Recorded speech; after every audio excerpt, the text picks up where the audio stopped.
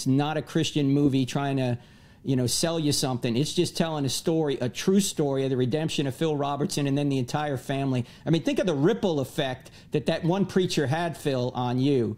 He tells you the gospel, you come to faith, and then the entire world eh, around the Robertson clan is changed upside down, which helped affect so many other millions of people through the ministry that you and all of your sons and daughters and granddaughters have had since then.